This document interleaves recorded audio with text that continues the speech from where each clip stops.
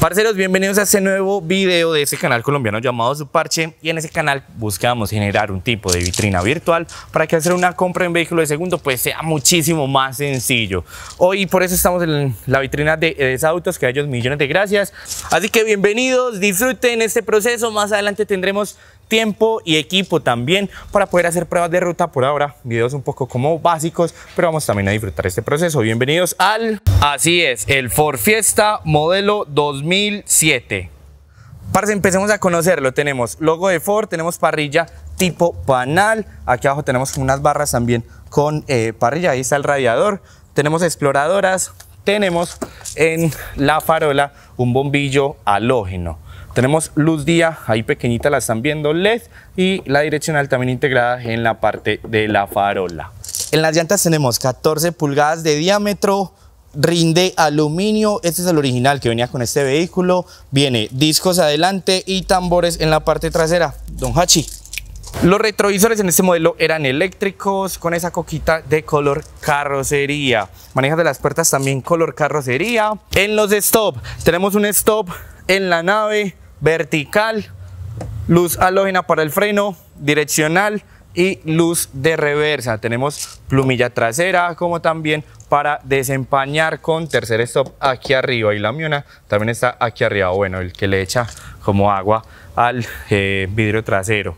Parce, en la parte del interior tenemos luz para ayudarnos en la parte de la noche. Un lugar bastante grande de almacenamiento. La verdad nos cabe en maletas, nos cabe en lo que queramos, como para un viajecito y demás. Aquí abajo tenemos la llanta de repuesto con el kit para desbararnos. Plásticos rígidos y duro. La palomera, creería que no es original. Eh, bueno, algo también adicional venía con esto rígido. Esto es como un metal, como rígido para poder acostar las sillas y ampliar mucho más la parte de carga además no afectar como la cojinería. Parce, las carteras, tenemos varios materiales, plásticos rígidos, tenemos algo acolchado en tela, los vidrios son eléctricos para, los cuatro, para las cuatro puertas, sistema audio también en las cuatro puertas, manija como para abrir. Aquí en el interior tenemos cojinería en tela, venía con dos apoyacabezas traseros, dos cinturones de tres puntos y un cinturón pélvico en la mitad. Ya saben, cojinería de tela, dos colores, como este bordado. Eh, aquí en los laterales tenemos como un lugar de almacenamiento y aquí en el central tenemos un lugar de almacenamiento como con un portavasos.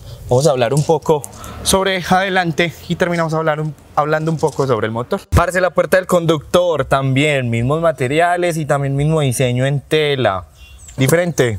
Tiene espacio de almacenamiento, también sistema de audio y sistema de audio en altos.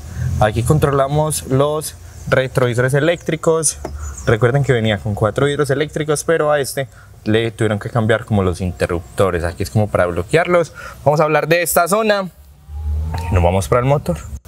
Bueno muchachos, por este lado, bueno, parce, parce, por este lado tenemos Muchachos, por este lado tenemos lugar de almacenamiento, salidas del aire acondicionado, aquí salidas del aire acondicionado. Este es el sistema audio, venía originalmente con CD, pero viene como con un espacio ahí para, para darle como una pantalla. Rejilla trasera de exploradoras para abrir la cajuela o, o puerta trasera, aire acondicionado, Aquí venía con lugares de almacenamiento, un portavasos, lugares de almacenamiento, toma 12 voltios, caja de 5 velocidades, ahí están viendo la distribución, freno de mano, lugar de almacenamiento y aquí ya mostré el lugar de almacenamiento como con un portavasos. En este lado venía con lugar grande de almacenamiento con una lucecita que en este momento no está funcional. Aquí también venía con pequeños lugares como para poner documentos o demás. Bueno, aquí arriba tenemos espejo, en el conductor también tenemos espejo luces de lectura y luz central.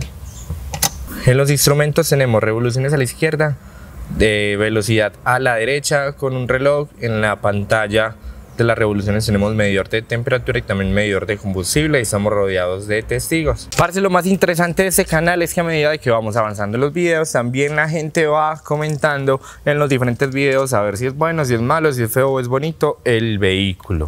Y eso es por medio de la experiencia.